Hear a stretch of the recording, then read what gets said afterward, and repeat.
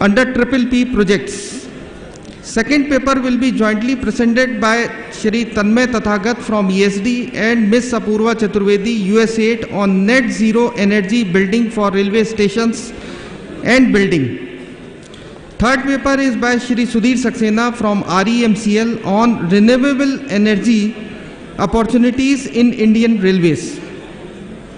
Now I hand over the proceeding to session chair Shri Krishan Dhawan to start the technical session one with introduction of speakers. Uh, thank you very much and good afternoon, everybody, and thank you for your attention. Uh, we will, uh, it's my pleasure to introduce our first speaker today, Sri Shivram Krishnamurthy, who's with the IFC and joined in 2010 and is presently the Operations Officer for Clean Energy and Resource Efficiency at IFC. IFC, as you all should know, is a member of the World Bank Group, which is the largest global development institution focused on private sector uh, in emerging markets. He has done his BTech in electrical and electronics from the University of Calicut and an MBA from Madras University. And prior to joining IFC, he was working with this uh, CII Green Business Center.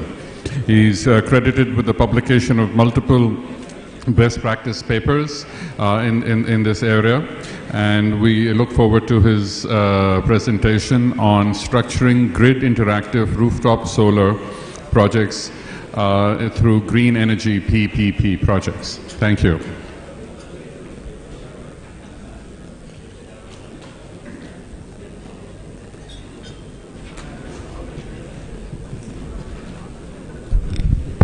Thanks, uh, Chairman, uh, Mr. Dhawanji, uh, all the other dignitaries on the dais, uh, uh, Railway Board uh, members.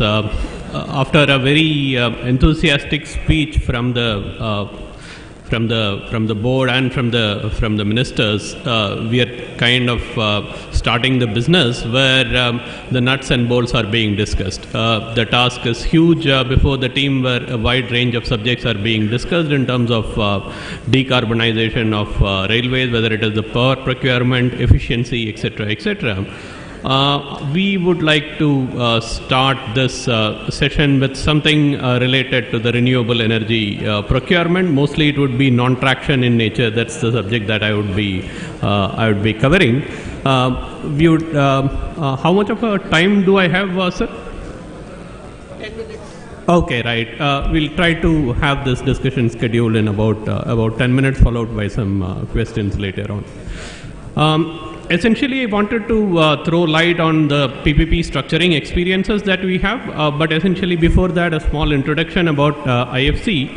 Uh, IFC, for those of you who do not know, is a part of the World Bank Group. The difference between uh, IBRD, which is uh, known as World Bank in India, and IFC is that IFC is the private sector private sector arm of the group. We work with the more with the private sector, whereas IBRD works more with governments as well as subnational institutions. Uh, there is both an advisory and an investment and uh, the value proposition is that there is a country-based uh, structure, a long-term uh, competitive financing, as well as regional uh, teams working with the with the teams. This is the uh, investment project cycle. Uh, I do not want to want to dwell much on this, but it's like any other commercial bank. There is an early review, due diligence process, a very detailed disclosure process, commitment, and monitoring for the for the investment deals that we do, and there is a range of financial products that we can uh, work with, whether it is equity, mezzanine, quasi-equity structures, and uh, senior debt as well as the equivalent structures. So the entire range of financial uh, products can be uh, can be offered, and uh, we think uh, association with the railways in all the capacities, whether it is advisory or investments, would be would be great, and that's the reason we are supporting the program as well. Uh, in terms of uh, the topic of the day, uh, by and large, uh, there is an experience across a wide range of uh, renewables, uh, some of which is very, very applicable to railways. I would say the mention of wind and solar that way has been has been made in the first session, and the scale-up opportunities is is large in this. we have seen the kind of fall in rates minister was mentioning about the procurement uh, of LEDs as similarly the rates of solar power is something which has uh, fallen over a period of time and as a country and as an organization we also think that railways can take advantage of this uh, improve on the green uh, procurement of, uh, of, uh, of power and overall can pass on these benefits to the wider, uh, wider stakeholders. Um, having said that, there are three models which are uh, which are followed. One is the traditional build on operate capital model. The second is the model in which the first uh, inauguration of 5 megawatt has been done. It is called the OPEX or the uh, PPA model. Essentially, this is a model whereby private sector comes and invests capital in the facility. There is mostly a competitive bidding which is uh, offered, and you sell power to the entity. In this case, the railways on uh, something called a PPA. So the terms and conditions of the PPA become uh, very important, and uh, this is uh, well suited for distributed generation like uh, solar. The last, there is something called a leasing model, not very famous in uh, India at this point in time. Um, a couple of technical slides in terms of rooftop solar development. If it is rooftop, then uh, one can have it behind the meter, one can have it beyond the meter. Uh, there are uh, a couple of terms like net metering and gross metering, which one has to be aware about, and that's more on a regulatory uh, thing. Uh, the other way one can purchase power is to uh, through open access by the wheeling facility, which we, we had been, which has also been a point of discussion in the in the morning.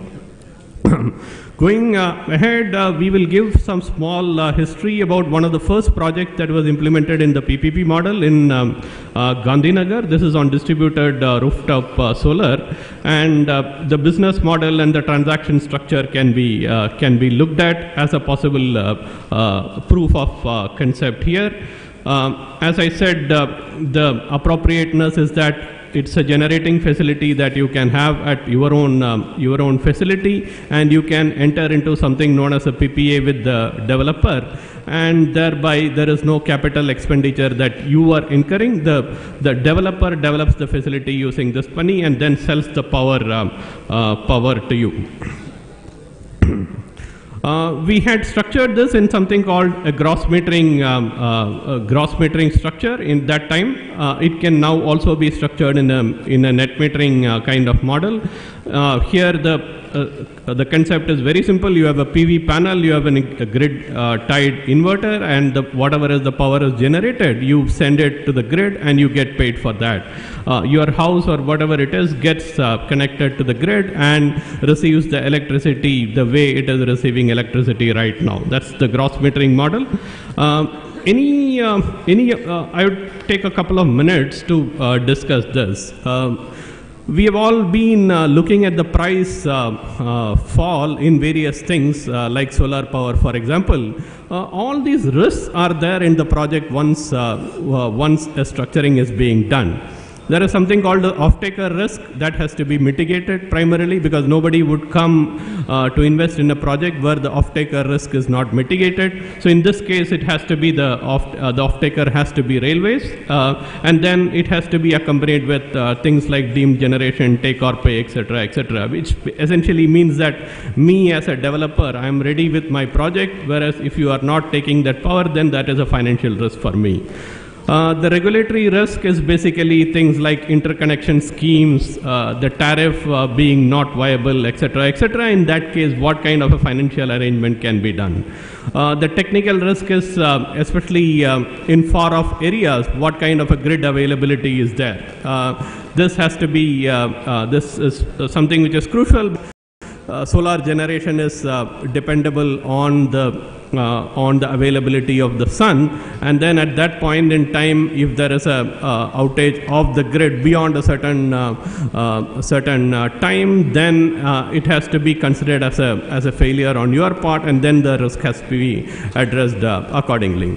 All these goes into the into the transaction mechanism and the most important structure then is the kind of clustering because unlike unlike a traditional uh, ground-mounted uh, project, this is one of the risks where there uh, where the um, where the risk is very high. Supposing you have uh, contracted out a certain uh, capacity based on the availability of a certain number of roofs, and then if it is a far-flung location, the developer goes there not able to find the roof or has to undertake three or four trips just to uh, just to uh, just to secure the roof for his, then obviously the transaction cost goes up and then it becomes a loss making proposition for him.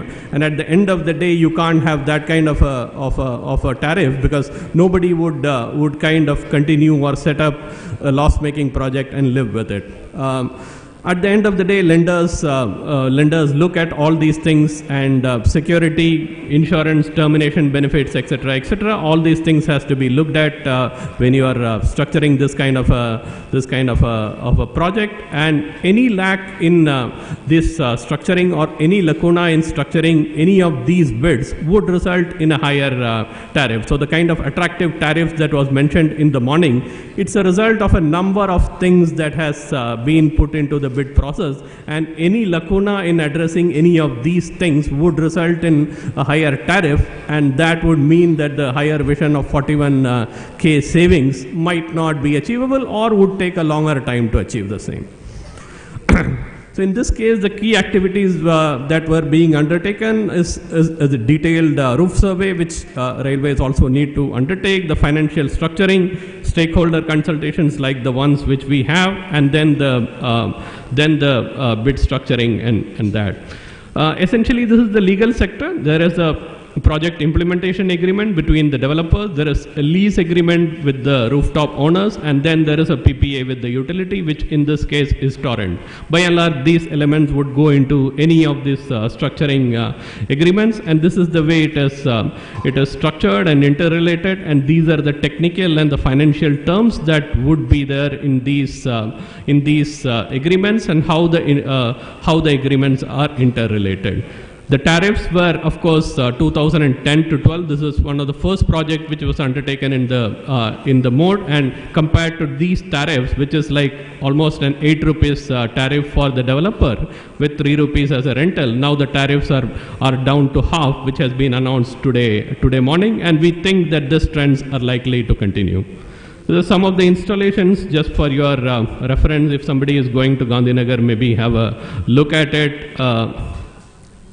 In the net metering structure, the same thing can be replicated. The only thing is there needs to be a vigorous interaction between the utility and the rooftop owner. In this case, uh, uh, the existing billing structure and the related complications also need to be addressed. But as long as a consumer is concerned, by and large, it is the same. He doesn't know whether the power comes from the solar energy or uh, it comes from the grid. This is how uh, the difference uh, looks like when it is presented uh, graphically. Only thing is the termination point is the distribution panel at home, and then the power can go either into the uh, into the into the load if the load is available. Otherwise, it can go back into the grid. Then there is something called a bidirectional flow of energy, which the net meter has to take care of, and then related to that, you have to introduce the banking uh, mechanism. So this is something where you have to work with the utility to make it understand and incorporate incorporate this at that level. Uh, the stakeholder concerns more or less are, uh, are addressed. I had also uh, discussed this in the first one and it has to be uh, uh, mitigated. Um, the tariffs, as I said, has been coming down. It has been coming down over the last four or five years. We expect this to be uh, this to be a feature in the ongoing this thing. Also, only thing is the rate of decline would would now decrease. Uh, a couple of things on, uh, on proliferation. Uh, we are also now doing a proliferation initiative of the same with the renewable agency in the state of Orissa. This is called OREDA. The whole the whole attempt is to uh, make this concept reach to the reach to the consumer. It's more of a difficult exercise than a bid exercise but this is the ultimate uh, winning point. This is what we uh, we believe uh, has to be the has to be the one. This is one of the examples of a private sector engagement. This is a famous brand called H&M they are also moving to sustainability. The point being that uh, it is railways tendering process, utilities, this is one set of themes. There is another set of themes which is coming from the private sector in terms of their own uh, initiatives, in terms of uh, both a better carbon footprint as well as achieving a reduction in energy costs.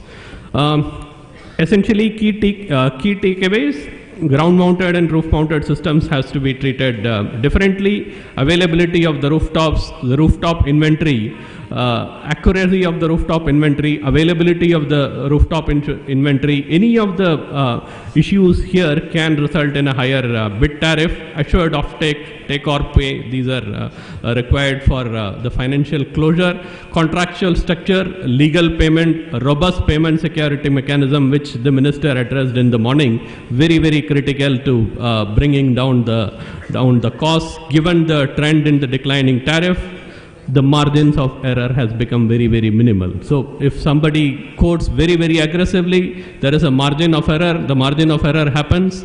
The issue is that financial closure will be far off and the debt equity ratio has to change. The overall interest in the project and execution comes down. That's not what any of us want for scaling up especially in other places uh, clear permitting provisions are required. And finally for all these things access to uh, finance is the key. And if there is a need to have all these things at far flung areas like the railways it's easier to do it in cities. It's difficult to structure this in far flung areas. Uh, appropriately mitigation mechanism has to be arranged. Uh, appropriately access to finance has to be arranged. For all these things we as a global multilateral institution uh, more than keen to partner with railways in this regard uh, thank you and uh, uh, we can have the uh, questions later on thanks Thank you, Shivram. So, as uh, Shivram uh, illustrated, uh, for meeting the potential non-traction needs of the railways, clearly the, the PPP model is a useful alternative to leverage resources, both technical and, and capital. And given uh, the lowering costs in uh, the renewable energy sector and the stability of technology, uh, there's a significant opportunity to expand and multiple business models uh, that are available in the market that the railways could potentially use. And given uh, just the inauguration this morning of the uh, rooftop solar installations uh, at the Delhi railway stations, clearly uh, there's a lot of momentum and interest that can be uh, taken forward across the, the country at the, the network of railway stations that the Indian Railways manages. So thank you very much. So we're moving on to the second paper, which is on net zero energy buildings for railway stations and buildings. And the presenters are Apurva Chaturvedi, who's currently working as clean energy specialist at USAID India, where she's worked for 12 years in clean energy and in, in the environment sector. And she currently leads the energy efficiency uh, portfolio and smart grids portfolio, and has previously worked um, at the British Council. Also speaking is Tanmay Tathagat, who's uh, the director of the Environmental Design Solutions Group. He brings a background of architecture and uh, engineering, uh, and over the last 20 years has worked on green building initiatives at, at a number of venues. So uh, may I invite you to make a presentation? Thank you. Thank you, Mr. Dhawan. And uh, first of all, I'd like to take this opportunity to thank Indian Railways for partnering with us on this important initiative. And uh, just taking a lead from what the minister spoke in the morning about how LED bulbs really transform the lighting markets, how it really changed the way um, uh, it actually made a difference at uh, not only in terms of the energy savings but what a consumer pays. So basically, in the bills, in the tariffs.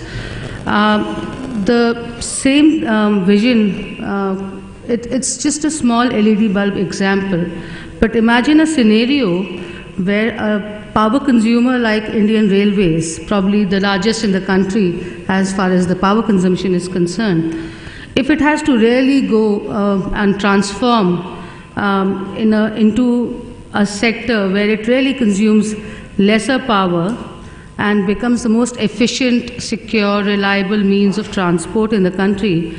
Uh, and that's what, in a very small uh, way, we would. Uh, we are trying to um, work with Indian Railways on bringing in the net zero energy building vision uh, for the Indian Railways. But before I get into that, uh, just a small uh, sort of a brief about uh, USAID and the US India cooperation on clean energy, which has been there for a couple of decades now, uh, where we work with the Government of India on uh, uh, bringing transformative technologies on clean energy, both on the energy efficiency and the renewable side. And for the last couple of years, we've also been very lucky that we've been working with Indian Railways uh, to bring in some of the clean energy transformations here as well. Uh, this started with uh, our bilateral program, Partnership to Advance Clean Energy uh, Deployment, PACE-D, uh, which, uh, and it's, we now are very fortunate that we've launched a new program called MAITREE, which is Market Integration and Transformation for Energy Efficiency, where we are working with Indian Railways, uh, both on the renewable side, but also on how they can actually build in the most sustainable manner, in the most efficient green manner, and that's the net zero energy building vision that I'll be talking about and my uh, colleague Tanmay will be talking about. So first of all, I would definitely like to acknowledge uh, Mr. Sudhir Garg, Mr. Puneet and his team uh, who have been extremely proactive and, uh, and that's the reason why when we started working with them just a year back and we developed the net zero energy building vision um, uh, and the guidelines for Indian Railways, they were I think approved by the Railway Board in not in just maybe one week or two week if I'm right Mr. Garg. So um, um, that's the kind of uh, proactive partners that we have with Indian Railways, and I'm sure this vision will translate into reality very soon through our partnership in the coming years. Uh, so, this is what we started with, as I said, the net zero energy building vision, and uh, um, that's already been approved. And the idea is how do we get from the vision stage to the actual implementation stage, and that's what we hope to do now.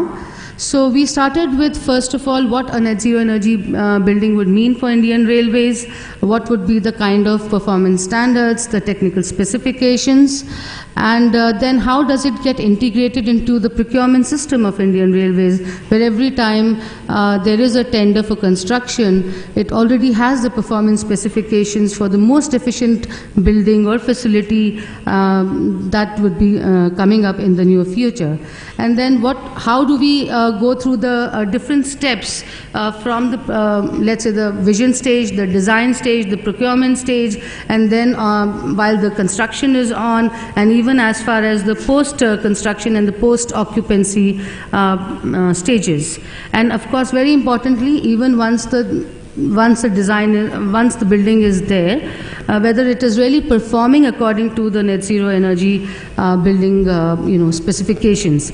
And most importantly, we would also be working with Indian Railways on capacity building. So here we are, we have partnered with railways, but and we would um, actually handholding the engineers and the professionals working with the Indian Railways on actually um, uh, sort of um, uh, giving them this handholding support to see that they are geared up to, um, you know, understand what is a net zero energy building and go about its implementation as well. So we would be working uh, with the Indian Railway Engineers uh, Institute also to see that this actually gets incorporated as part of their curriculum as well in the near future.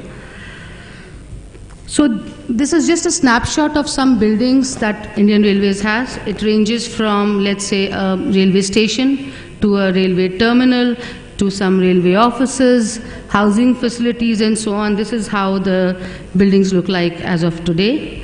And if you look at this graph, this just shows the non traction energy use uh, projected uh, till 2020. Uh, as of now, in a normal case scenario and a business as usual scenario. But suppose if the Indian Railways were to go the net zero energy way, if you look at this graph, it shows in the first bar there is a, a typical building uh, which consumes this much of power. But uh, what the government of India has already sort of um, come up with is the Energy Conservation Building Code, the ECBC, which sets the minimum performance criteria for a building, for a commercial building. Then, uh, if the railway were to go this route, then their actual energy demand would come down from a normal scenario. If the Indian Railways went one step ahead and went ahead with ratings like Griha or IGBC or a LEED Platinum or so and so, then if you look at this particular bar, there is a slight green portion to it, which means that the building is not only consuming energy, but it is also producing some amount of energy. And if you go the next part, if you see the net zero energy, where the yellow and the green portions are equal, which means a net zero energy building actually means the building uh, produces as much energy as it consumes on an annual basis.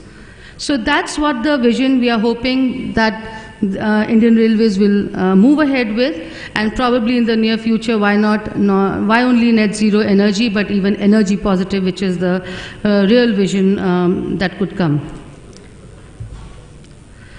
So uh, we are working on two aspects. Uh, one is the redevelopment of the existing Indian Railway stations and also the upcoming new stations and the station facilities. Uh, there is a huge opportunity to build sustainably. Uh, retrofitting, as we were just discussing uh, right now, just before uh, we started the session, retrofitting is always much tougher. And I'm sure as engineers and professionals here, you all realize that uh, retrofitting or changing the already existing facilities is a much harder step, much more time consuming, energy consuming, uh, cost consuming exercise. Uh, whereas if you uh, were to, uh, if you're making those 400 new station facilities or 1,000 new station facilities in the very near future, and you stop ahead and change the way you build, and you build it in the most highest efficient manner, uh, with the, uh, you know, not only the building design, the building envelope, the different aspects of the building, whether it's the heating and the cooling loads, whether it's the lighting loads, the glass, glazing, all that, if it is built in the most efficient manner, your demand automatically comes down. And, and then you can actually meet that demand through the uh, renewable targets that you already have in place. So as far as the existing IR stations, uh, they can also go for a rating system, any of these, whether it's a Griha or IGBC or a LEED Platinum. It also would lead uh, to substantial energy savings, almost 50% reduction from the current energy use. And not only are we talking about energy, because at the end of the day, the railways is committed to the common man of the country, and therefore the comfort is a important, uh, very very important aspect of that. The, even if you can uh, decrease the energy consumption, the comfort uh, doesn't have to be compromised on, and therefore that actually results in a better occupancy comfort, and of course uh, meet the uh, resultant demand in, uh, demand from the buildings through renewable means.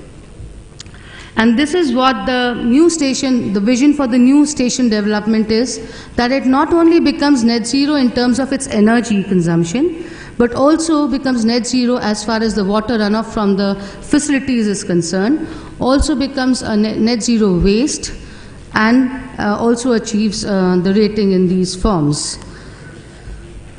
So, but we've been talking about net zero, but what does it actually mean? Does it, uh, it, and it has several definitions. If you start Googling or reading the literature around, it has a lot of uh, meanings. But for a country like ours, a building that actually produces as much energy in a typical on a typical annual basis as it consumes so it's not on a daily basis so not on a, a monthly basis but on an annual basis and it consumes the grid power when it needs it but it also feeds into the grid when it has excess of energy produced. So that's what a net zero energy building we mean for, um, for a country like ours. And uh, so this is almost, so these are the key factors. One is buildings, so it's not as if you have a building and you offset all the energy through renewables and claim that this is a net zero energy building. The building has to first of all have the lowest energy demand, which is through making it highly efficient um, especially your heating and cooling loads. Then you offset that energy uh, through renewables, whether it is on off-site, on-site, whatever. You have, uh, you know, you reduce the embodied energy of the materials that are used for building the uh, facility, and of course also reduce the transport that's required for taking the material from here to there. Uh, with that, I would uh, uh, maybe invite Tanmay. Um, he is our lead expert working on this, uh, working with Indian Railways on a very regular basis. So, Tanmay. Thank you. So I'll just very quickly run through. Um, I think most of you have already, uh, you know what the whole concept of uh, net zero is what we wanted to emphasize is that it's a philosophy that runs across from the first conception of the project all the way to post construction and management, and therefore it means that every uh, member of the uh, uh, team that uh, builds, operates, and manages uh, needs to be engaged in this process. The approach to net zero energy buildings requires looking at energy efficiency at the time of design, looking at simple things like insulation in the wall and roof that reduces the ingress of heat, better glass, more efficient cooling system, appropriate orientation, shading. These are all very, very basic things. But the idea is that if you use it all in an integrated way, along with things like insulation, for example, uh, wall insulation cuts down your energy ingress by say about 10 to 20 percent and this is something that works both for new and existing buildings of course for existing buildings it's not possible everywhere to add insulation in the same way. But in many places uh, in many kinds of structures it's possible. Roof insulation is definitely possible in all kinds of buildings. And not only that one of the advantages is you get lower temperature inside. So, for buildings that are not necessarily air conditioned, this ensures that you have more number of hours where you're comfortable. Roof, of course, apart from the fact that we're using roof for generating energy through solar, you're also looking at how do you make it more green. There are options of now, you know, technology has changed where green roofs used to be a problem of water leaking and all those.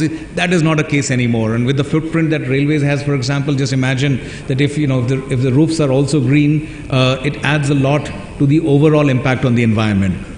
The last aspect is if the roof cannot be green or solar, definitely make it white so that you reflect the light and reflect the heat. And this is also a proven thing.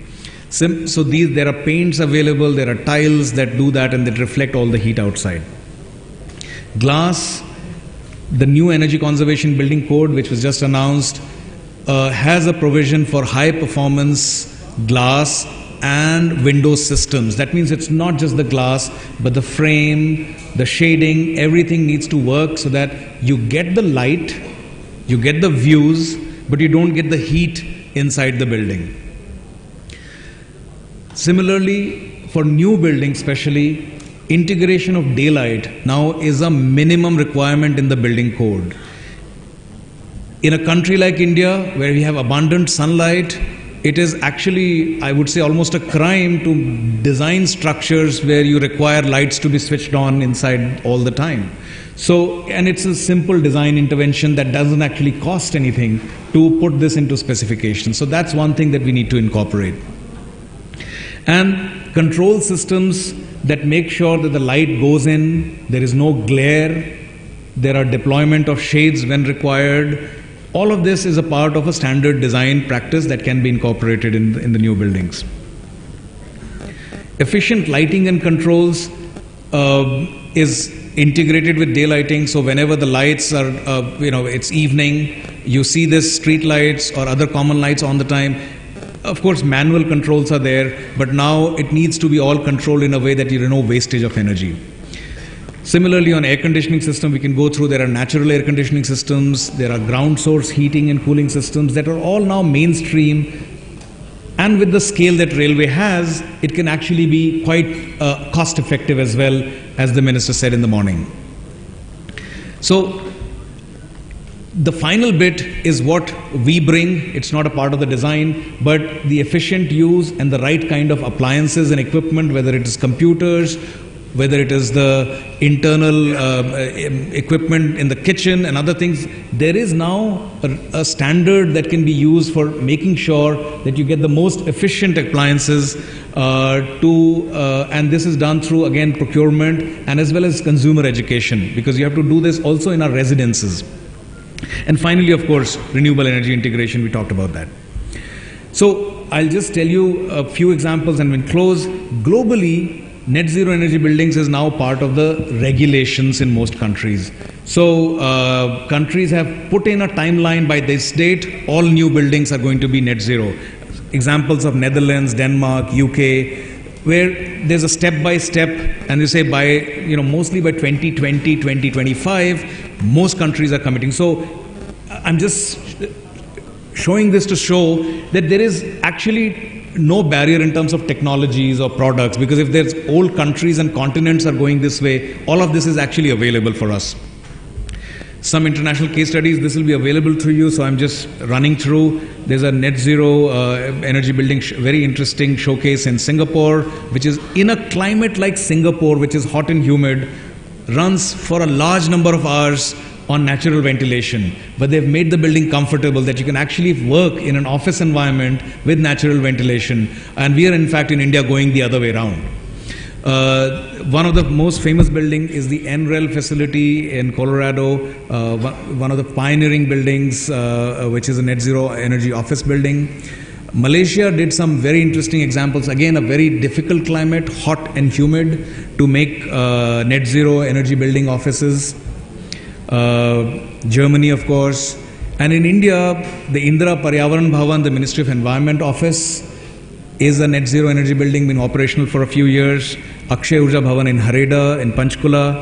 Uh, there are some prototypes of residential buildings, two room, two bedroom apartments, standalone. Uh, Grid Corporation office in Bhubaneswar. Uttar Haryana Bijli Vitran Nigam office in Panchkula. Uh, a campus building in CEPT in Ahmedabad.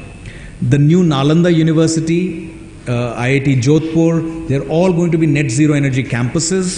So this is Nalanda.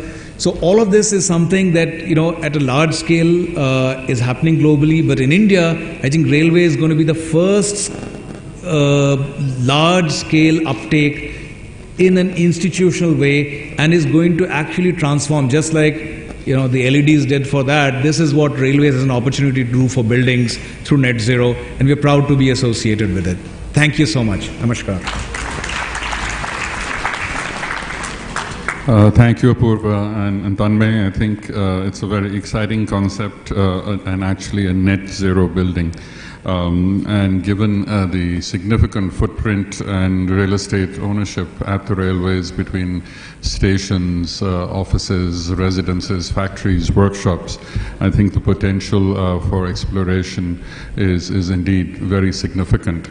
As, as was pointed out, I think the the thought process has to be applied uh, from the very beginning, from the design stage, and then move it on to the materials that are being used, the equipment that's being installed, and finally to the uh, uh, operations of the buildings, uh, just to make sure the maximum benefits are realized. And while this is an energy-related conservation uh, conversation, uh, there is potential to to extend the, uh, uh, the focus beyond energy to, to water and, and to waste. Um, so uh, I think it would be with great interest we, we would uh, we would track how, how this concept is is applied uh, across the railways. Moving on to the, the third and final paper of this, of this session, which is on renewable energy opportunity in the Indian railways. Uh, our presenter is Shri Sudhir Kumar Saxena, who's currently working as the Chief Executive Officer in the Railway Energy Management Consulting uh, Management Company, and he's a 1984 batch officer of the Indian Railways, holding a degree uh, in BTech Electrical from IIT Roorkee and an MTech in Power Systems from IIT Delhi. Uh, he brings a significant experience uh, in the railways, uh, both on the electrical side and on the telecommunication side, and he's now going to be speaking on the opportunities in renewable energy. Thank you very much for giving the opportunity for speaking here. Uh, I only want to say about this railway, uh, the use of solar energy in the railway is uh, age old, and in fact, I myself is witnessing it more than 30 years and all of the seniors and uh, my colleagues etc in the railway they must have they already are working very hard and then they are uh, over a period of time the solar uh, use of solar energy has been uh, of course being increased gradually. Uh, with the mature in technology and the cost coming down uh, the focus have really gone very high and then railway board is also working very hard and our, our minister is also focusing that we have to go for a for harnessing renewable energy in a big way so, uh, with this concept that how to work out in a focused manner, uh, this company, Railway Energy Management Company, was formed, and it has uh, a structure about 49% is holding uh, with the uh, in, in Ministry of Railways, and 51% is from RITES. It was incorporated in August 2013, and its key focus areas, business areas are planning and execution of renewable energy projects, which of course it is taking a large and which I will be discussing that what all has been done so far and what is the future roadmap and how we are working. Then power planning and procurement is another thing which uh, is of course uh, we, we are talking about the saving into the energy of 2000 crore rupees per annum which will be of course increased to say eventually to 10,000 crores uh, after we uh, achieve the electrification. So all those uh, part how to procure the economical way, the most economical manner is what is being done by the REMCL. We are also taking the uh, addressing the issues of regulatory matters because once we are migrating to a deemed licensee status, we are uh, facing a lot of challenges into the uh, with the state, and the states are really uh, giving us a tough time for uh, dealing with these regulatory matters. then we are also trying to work out on this transmission line where we can have a direct connectivity with the uh, central transmission utility where we can take the power without the involvement of the state. So that will provide us additional benefit to the railways and we can take any amount of power without any uh, restriction uh, from the state or anything. Then of course consultancy services and capacity building to the IR personnel. So giving you a snapshot at how uh, basically what how much is the consumption of the railway. We are consuming about 18 billion units every year. It's uh, 15.5 is uh, for the traction application and 2.5 is for the non-traction. So almost 85% is being accounted towards traction, and our key focus is right now uh, to reduce the cost of power for the traction by way of uh, taking the power and the uh, the 2.5 billion unit is about 15% of the power which we are taking it through for the non-traction where of course we already have discussed that how to uh, take the solarization, how to take the renewable energy into uh, this area. So that also briefly I will sum up on that. Annual electricity bill has been about 11,000 crore. This is an older figure. It has in fact uh, this is uh, right now we have about 9,700 crore is the uh, traction bill and 1,300 crore is for the non-traction. So uh, this focus is also to reduce it further. Is what is being done. Uh, for the traction purpose, the requirement, peak requirement is about 2000 and average is about 1800. We, uh, with the massive rapid electrification, the target, the average growth rate will also go very high, maybe 5 to 7 percent. Uh, I am taking a conservative figure, but of course, uh, as is our, honorable minister has committed, we have to go for about say 7 to 8 percent or so. So target is of course 25,000 over the next year and uh, we have to achieve a target of almost uh, say 100% electrification. This is what is to be required to be done. What is the vision particularly for the renewable energy? I will just briefly touch up, touch up upon that. Uh, to reduce carbon footprint of Indian Railways and uh, we are working very hard to achieve this result. Then uh, to substitute fossil fuel based power with renewable energy progressively a uh, lot of things has been talked about for the non-traction. Of course, in non-traction, we have the advantage of having the roof where we can install the solar power and we can take it. And uh, but of course, for the non-traction space, also we are trying to work out, and then we will be deliberating that how what are the uh, possible manners in which we can do it. Uh, one of the uh, mission is also to procure renewable energy uh, at the economical tariff because with the tariff coming down, as it has been told that uh, it, is, it is almost we are paying uh, close to 8 rupees to the state uh, discom. So if we are able to get uh, say around under 4 rupees or 4 rupees 50 paisa, that will be really a great thing for the railways and that too also will provide energy security to the railway where the cost will remain fixed for a period of 25 years or so. Then uh, as a licensee, uh, since we are taking the power as a licensee, we have a status of a utility. We also have the renewable purchase obligation uh, which is our duty to fulfill it not only as a for the purpose of RPO but also for uh, saving the carbon footprint of the reducing the carbon footprint of the railway. That is also our objective of doing it. Uh, the target over next few years is about 1000 megawatt, which has been told in the morning also that we have to do it. And of course, we are adopting uh, the EPC and uh, the tariff-based bidding model because the tariff-based bidding model right now is giving an edge over the tariff and then also gives a lot of uh, hassle-free environment there because whatever energy you are buying that you are only paying for that maintenance etc is the responsibility of the bidder which has already been told by the previous speakers Then another area is about the wind power, 200 megawatt wind power. That is also by 2020 we have to achieve that target. On which direction we are also working. Of course, there are certain challenges which I will discuss uh, during my ensuing uh, slides or so. So. Uh, now, uh, say basically, what is our renewable purchase obligation uh, of the railway? We have a different kind of uh, railway is a state entity having a pan-India presence. So now, uh, this I am talking about only for the traction power because in the non-traction uh, we can we can provide through the solar rooftop.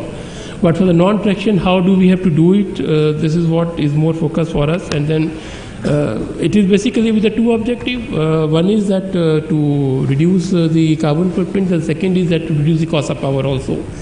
In fact, the declining trend into, into the solar power that is being, we are getting a very low tariff, and as you may be aware that the last lowest tariff was discovered was about 2.44 into the Rajasthan and uh, in um, and then the next probably 2.54 or something like that. So that is the ex-bus tariff which we are getting it. Uh, so if we, we are able to get to that level, and the landed tariff to us will be under four rupees uh, to the railway.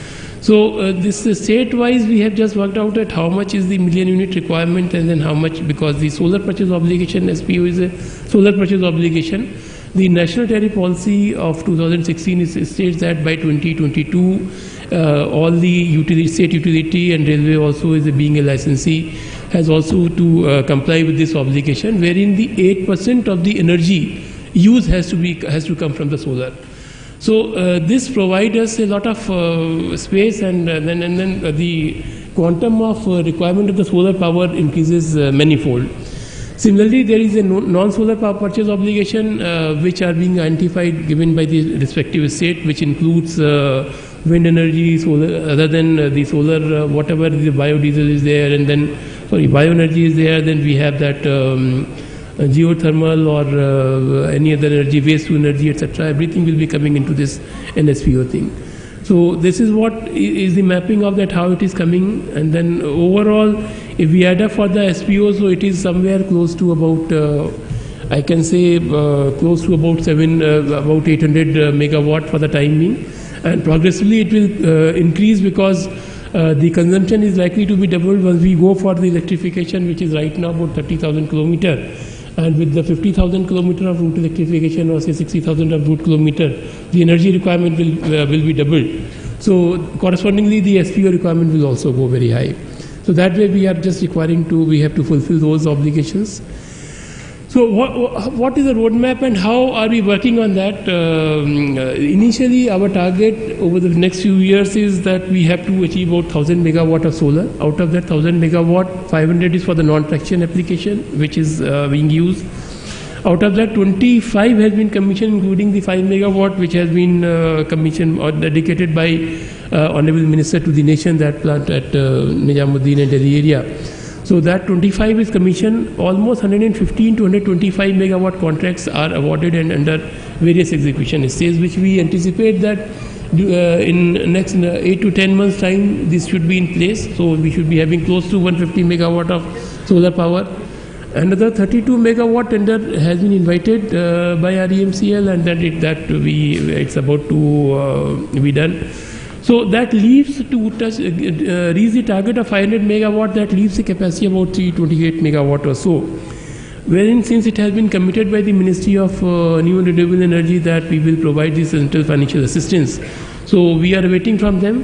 Uh, nevertheless, this uh, what is the lowest tariff, discovered tariff, which we have in the recent tender is about 3.49 uh, per unit with 25% central financial assistance and that uh, that tariff remains fixed for a period of 25 years. So we are really getting, uh, and, as against the tariff of what you are saying that we are paying on an average of say about 7.5 rupees across the country. So that's a really a tremendous uh, reduction to tariff. And what was more surprising that about uh, 2 megawatt of power we have won without any central financial assistance. And there also we discovered a tariff of 4 rupees 46 paisa on the rooftop. So that means on the rooftop itself, we are getting uh, the earlier the uh, benchmark of 4 rupees 50 paisa, we have come to sub 450. So that is something a big achievement, and if we go a little on a larger scale, we can uh, go through this uh, further. It can come down, and uh, In fact, uh, this was a normal conventional bidding which we have done it. And if we go further through the reverse auction, maybe the cost may further come down. So this is what it is, something which we are uh, doing it. So this was as far as the uh, traction application was concerned. Of course, and we are also planning to go for 500 megawatt of uh, traction power uh, for the traction use. This we largely want to do it uh, on a larger scale, maybe a plant of uh, not less than 550 megawatt capacity or so. So this we are planning, uh, as was said, that we have a vast railway land where we can try to take this power and then we will try to set up the solar plant there. Uh, we can go also in a private land. If we go for an open bidding, then we can take this power through uh, through the private land. Then we are also pondering to take uh, into this uh, space into the solar state solar park.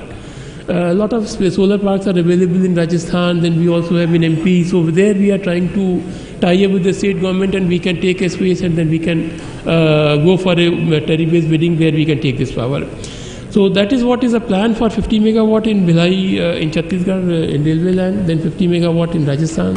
400 megawatt is uh, centralized or it can be distributed also state-wise. So we have pros and cons basically whether we should go for centralized or distributed. So all those things are being uh, done by the by us, and then we will be coming out with this, some of the proposals recently. Uh, then, uh, uh, to just give a, uh, the a snapshot about how much is the wind energy, we already have about 36.5 megawatt uh, in the of the wind energy which is coming. In fact, out of this 26 megawatt, we are already using uh, for the traction purpose because though there is a challenge of scheduling and utilization of this power, despite of it, we are uh, able to manage this uh, thing. Then we have another ongoing project, 6 megawatts for non-traction in Maharashtra. This is also for non-traction use. This is what we have, we have asked, we have got a bid also. This was on an experimental and pilot basis, where this power will directly be given to the us under the banking mode, and where the state uh, government will bank this power, and we will be coming this power. Uh, and we expect a rate of tariff of under 5 rupees uh, with this.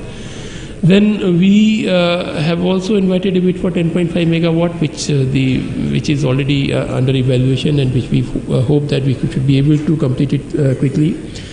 The future projects are about to reach a target of uh, 200 megawatt. We have remaining capacity of 147 megawatt, where uh, we have to. Uh, we are now trying to go through a tariff-based bidding option, where we can, instead of uh, setting up on our own, we can go through a tariff-based bidding option because in the recent uh, tender for the wind energy, also the tariff was really has crashed down, and then the tariff I think 2.64 has uh, has been reported. So we are getting a tariff of 2.64 ex-bus for the wind energy also. So that will be really it will provide a very uh, pathway for the railways uh, that uh, whatever is our future requirement. A major portion of that we can try to cover up uh, through the renewable energy uh, resources. So, but of course, there are certain challenges in harnessing renewable energy, and uh, which we are trying to work out various options where we have to really sit down and we have to brainstorm then what best possible manner we can take it. Uh, first of all, since as I told you that railway is the state entity, we are taking the power which is varying uh, as low as 25 megawatt. Of course, in Delhi it is about 10 to 12 megawatt, but uh, barring Delhi, then uh, we have a minimum requirement of 25 megawatt and is going as high as 340 megawatt in one of the bigger state also. So scheduling uh, of renewable energy for traction application as deemed licensee will be one of the challenge where we have to dovetail the uh, renewable power with our conventional power. So that that will be the issue where we have to really work out and then we have to define uh, certain ways of uh, doing it. Then power balancing issues, of course, remains uh, another thing because once you have the power and then in the evening time, once the solar power particularly goes down, then we have to ramp up the other uh, generation. So that time uh, requirement is there. So we need some time for the ramping up of the conventional power. So we really have to work out in what way we can do this bal- balancing issues. Then uh, sometimes it may be possible that uh, we may have to back down the conventional power during peak generation of renewable power. So we have to take due care because the uh, conventional power cannot be closed. We have to run it to a technical minimum. So below that it is not possible uh, to go, and we have to really work that how uh, we, we can address these challenges. Then uh, to, a, to some extent we can have some financial implication of fixed charges if we are reducing this uh, power. So, of course, in fact, I will be coming to the next slide where we are trying to work out that how this can be minimized. The non-banking of renewable energy by DISCOM because railway is also a licensee and uh, of course for the non-traction use where we are taking the power as a consumer, we can uh, use the banking facility but for the uh, for the traction purpose uh, this uh, is not being uh, permitted by them. Then the of course the transmission charges of the full installed capacity has to be paid if you are installing a 100 megawatt of solar plant you have to pay the entire charges and though the actual power requirement will be uh, say you will be taking about 25 uh, megawatts at 25 uh, percent uh, CUF. So this is what is something. Then MOP guidelines are there for the waiver of CTU charges only for meeting RPO. So of course we our RPO requirement itself is about 1000 megawatt will be close to 1000 megawatt. So we can avail this facility for the CTU connected waiver of CTU connected connected charges. So that is what uh, maybe the uh, cost, maybe the landed tariff may be little higher if we go through a conventional method. So what are the options which we just thought that how we can uh, expedite and how we can take it instead of taking in a normal routine manner? We what is what are the way out? One is the banking arrangement with the state discom. We have been in touch with a few of the state, which they are saying that we can permit to the banking. So dialogues are on, and in fact, uh, we may be able to have a breakthrough recently, and then we can uh, we can uh, bank that power. So what will happen, say, instead of say 500 megawatt of power, I will be coming about say 20 megawatt of power constantly. So that will provide me a lot of uh, saving into not only in the transmission charges, but also in my scheduling and also in terms of my availability of power. The another uh, concept uh, uh, we are trying to evolve is about this concept of chopped renewable power. So here the advantage will be that we have the reduced transmission charges, then we will have a... Kindly uh, wrap up. Uh, we will be having a scheduling uh, which will be uh, uh, which, which, will be having less impact. Then uh, we can go through some of the REC, we can purchase renewable energy certificate. Then we are working out on the solar wind hybrid plant and maybe we are working with the option of solar plant with battery storage. So this is this is basically the concept of chopped power where what happens is generation suppose we talk about a plant of 500 megawatt. Now in this case what happens into, into the bottom portion shaded portion uh, the the dark portion railway will be taking this power only. So that means uh, though I will be having a capacity of uh, almost this uh, in terms of curved area it will be about 60% of the power so even at 200 megawatt uh, capacity, I'll be using the, I will be taking the power of 60 to 65 percent. The remaining power can be taken by uh, the other user, and it can be sold by the uh, developer to the other person. So we are we are going for a bidding option wherein we will commit him to take the power of the lower portion, and the upper portion power can be taken by some other user.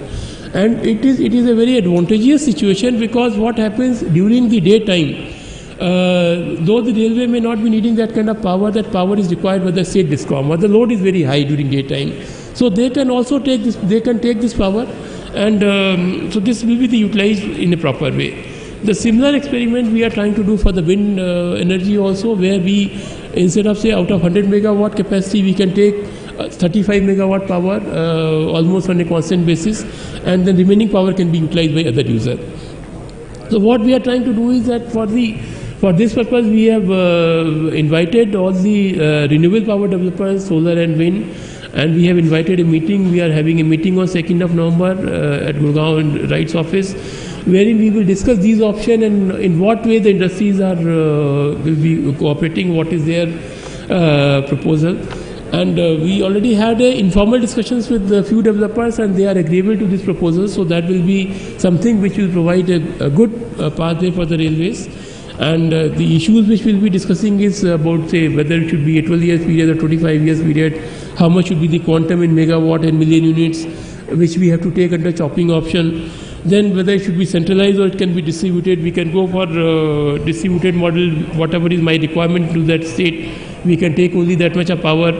And we can evolve and implement concept of solar and wind hybrid project that how uh, if we can take uh, if we, we are able to take both the hybrid model. In that case we have a continuity of power. Say normally the wind is they are both of solar and wind are uh, complementary to each other. In the evening time, once the uh, solar power is not there, we will have a wind power. So that will provide a lot of uh, good proposition to us. In fact, we will also discuss during the meeting that if we can have a joint model of solar, wind, and uh, battery storage. So the battery storage requirement will be very limited to that extent, but that will provide us the advantage of having a, almost a con- constant power or round the clock power without any further investment. And then we anticipate that the cost of power with this should be under uh, uh, 4 rupees or 4 rupees 50 paisa with this model. So uh, this is uh, what uh, is the overall thing and if we have some solar powered uh, renewable power developers so i invite them the details are available at the website of RITES. They can come and then they can discuss and they can come with their suggestions. Thank you. Thank you. So uh, I think we um, heard um, a description of, of the vision for, for the railways in terms of uh, pursuing renewable power, both from solar and wind, and uh, the, the logic behind in terms of reducing both the carbon footprint and, and the cost and the issues associated. Uh, I believe we have a few minutes for uh, questions and answers. We got a question um, in advance from, from one of the uh, participants, and I'm going to request uh, Shivaram to see if he can uh, address the questions placed. Thank you. Yeah, uh, the cost was about the purchase cost. Uh, the Mr. Saxena ji has uh, uh, answered a part of that in his uh, presentation. So, uh, about the latest experience, what REMCL has shared is a tariff of 4.5 rupees without any uh, CFA, that's some kind of an upfront capital subsidy, and with a 25% uh, tariff, uh, with a 25% capital uh, subsidy, the tariff is uh, 3.5 rupees per unit of power. That's the that's the latest number. I just took it from your presentation. Uh, in case of a uh, the second part of the question is how much is that in case of a, a utility? So in case of a utility, it would be generally a ground-mounted uh, power plant, and the latest numbers that we are hearing from the market is a 25-year PPA tariff of something like 2.65 per unit without any uh, any uh, any uh, CFA. But uh, please keep in mind that uh, the location of the plant, the connectivity, all of this has to have a part in the in the tariff. It's, so it's even the same ground to ground comparison, it's not obviously an apple to apple comparison. One has to kind of look at it in a different uh, fashion uh, with the passing time. Thank you, Shivram. Uh, if there are any questions, we could take them now. If you could uh, identify yourself and to whom you are directing the question. We still can probably squeeze in a question or two before we take a break. If not, I'll hand it back to you.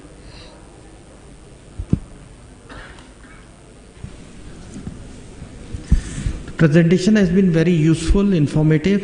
There is definite take takeaway which is which will be very useful for railways in current and future project, both on short-term basis and long-term basis.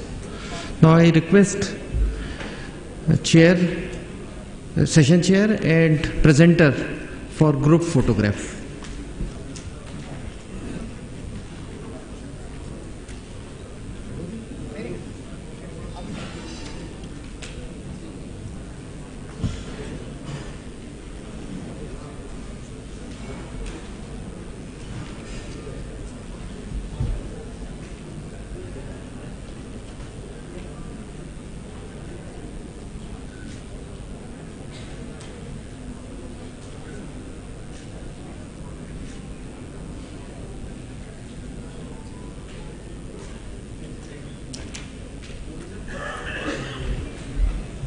That's the end of technical session one. We break for lunch. Everybody is requested to join for lunch.